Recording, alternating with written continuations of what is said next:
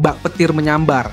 Pelatih Jepang malah ngomong gini, jelang laga timnas Indonesia versus Jepang di kualifikasi Piala Dunia 2026.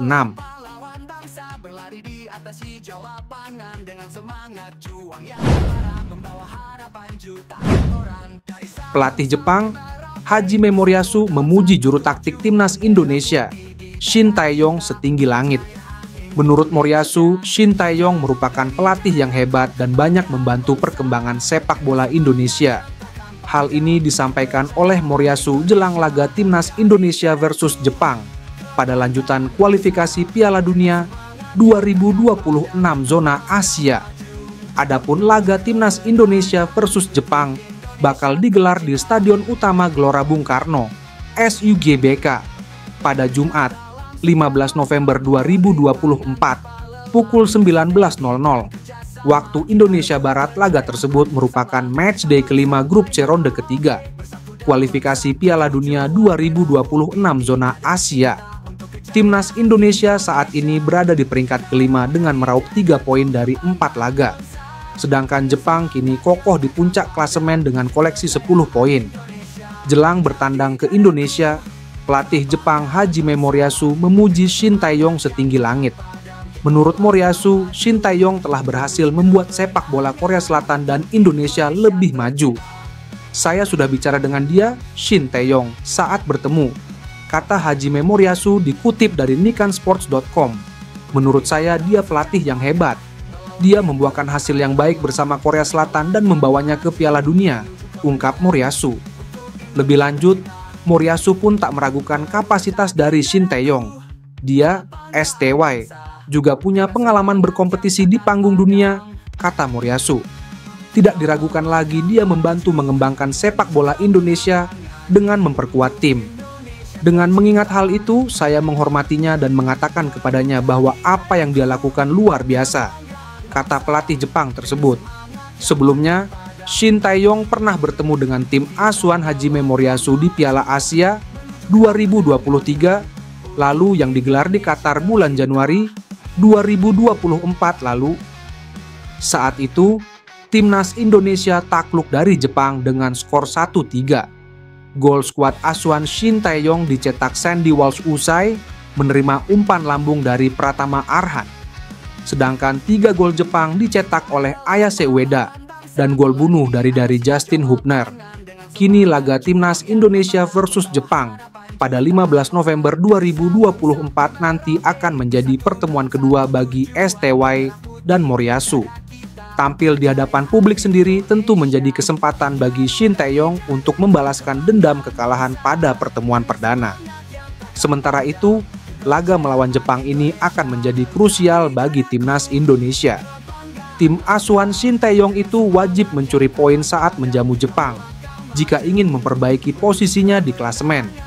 Kemenangan atas Jepang nanti akan membuat timnas Indonesia merangsek ke peringkat dua papan klasemen grup C Backmace Hilgers disebut Ketua Umum PSSI Erick Thohir tidak akan bermain saat timnas Indonesia melawan Jepang pada kualifikasi Piala Dunia 2026 Jumat 15 November karena cedera hamstring. Hilgers mengalami cedera hamstring saat memperkuat FC Twente melawan Willem Druba di Eredivisie Liga Belanda Sabtu 2 November Back tengah 23 tahun itu kemudian absen saat Twente melawan OGC Nice pada pertandingan Europa League Kamis 7 November. Erik mengatakan Hilgers kemungkinan akan absen memperkuat timnas Indonesia saat melawan Jepang karena cedera hamstring. Back yang memiliki darah Manado itu bahkan berpeluang absen saat melawan Arab Saudi 19 November mendatang dengan tidak pastinya kondisi Mes Hilgers, Erick Thohir berharap naturalisasi Kevin Dix bisa cepat rampung. Back FC Copenhagen itu diharapkan sudah bisa bermain saat melawan Arab Saudi. Kevin Dix, kemarin terima kasih kepada Bapak Presiden Pak Prabowo Subianto yang terus mendukung bagaimana tim sepak bola kita menuju kelas dunia. Pimpinan DPR bahkan kemarin dipercepat. Seharusnya tidak ada diskusi atau agenda.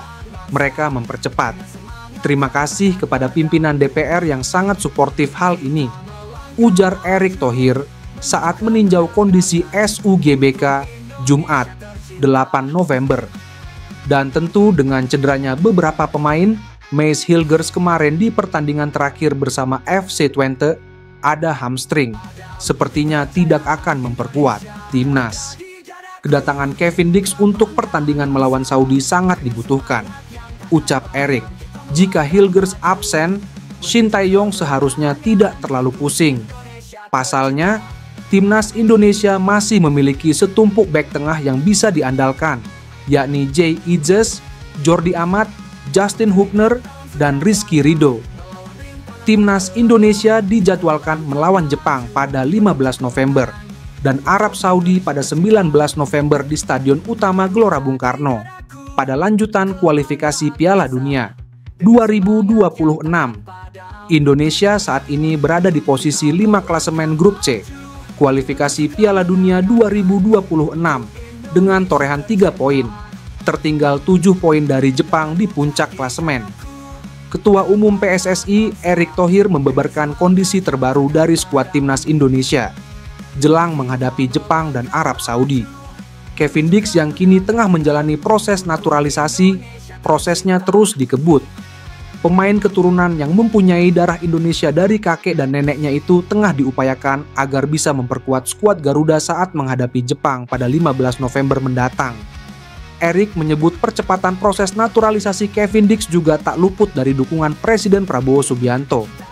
Kevin Dix, kemarin terima kasih kepada Bapak Presiden Pak Prabowo Subianto yang terus mendukung bagaimana tim sepak bola kita menuju kelas dunia.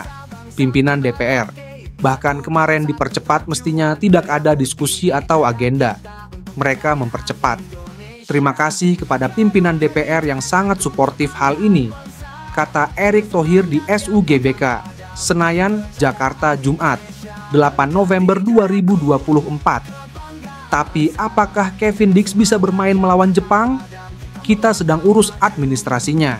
Kita tunggu angkat sumpahnya rencana mungkin hari ini.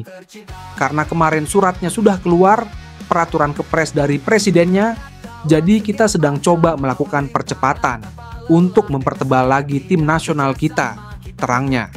Sementara itu, Mace Hilgers yang turut dipanggil Shin Tae-yong dipastikan tak bisa membela skuad Garuda saat menghadapi Jepang dan Arab Saud.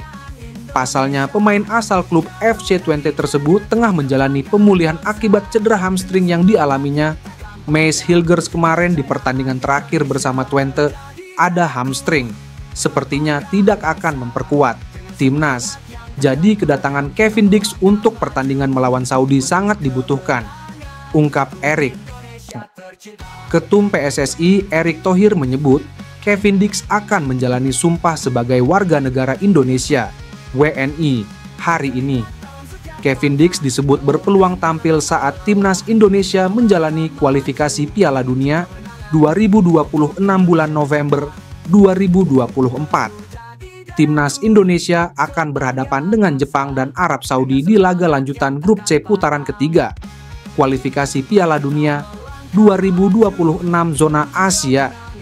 Dua pertandingan itu akan berlangsung di Stadion Utama Gelora Bung Karno, SUGBK, Jakarta pada 15 dan 19 November 2024. Erik memberikan kabar gembira jelang dua laga tersebut. Dia mengatakan Kevin Dix akan mengambil sumpah WNI hari ini. Tapi apakah Kevin Dix bisa bermain melawan Jepang? Kita sedang urus administrasinya, kita tunggu angkat sumpahnya, rencana mungkin hari ini. Karena kemarin suratnya sudah keluar, peraturan perpres dari presidennya. Kata Erik di SUGBK, Jakarta pada Jumat, 8 November 2024.